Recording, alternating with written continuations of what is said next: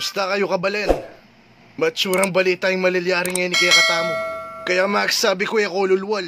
Uling alaya pang panuloy COVID. Eko masyas buntok. Eko palulwal. Metong pa. Ot nung karakal tayo masyas sa buntok. Nyaya ka sasabis tumiyawa ka. Magstay na kayo bali ka balen. Eta na palulwal.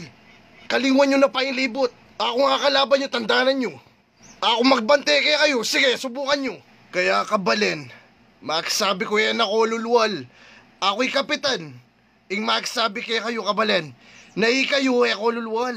Ako nga ako lulwal ngayon eh. Lilista ko na yung buriming salwan. Kaya orderan ko na online. Makayanigawan nyo.